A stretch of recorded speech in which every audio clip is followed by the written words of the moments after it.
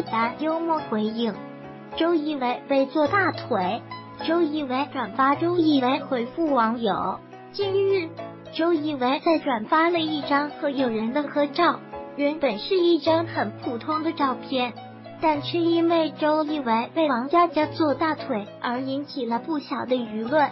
五日，自下场对网友后，朱丹再晒出一张老公和女儿的温馨合照，并称这个女人不仅坐他大腿，还坐他肩膀上呢。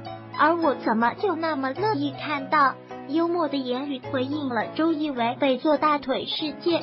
照片中，小小丹穿着球衣坐在爸爸肩膀上，小背影十分可爱。